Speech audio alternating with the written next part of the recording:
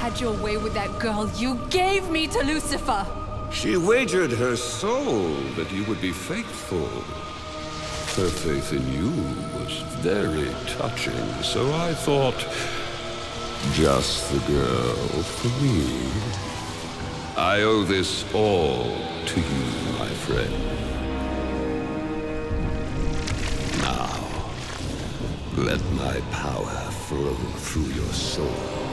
Give in to our union. And together, we will regain paradise!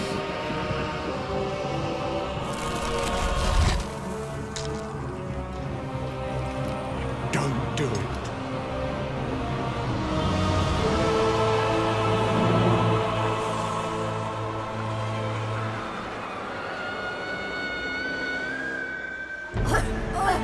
The faithful has lost her faith. The incorruptible has become corrupted.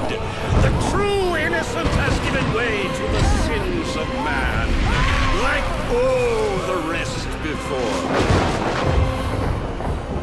Who now can deny me my right?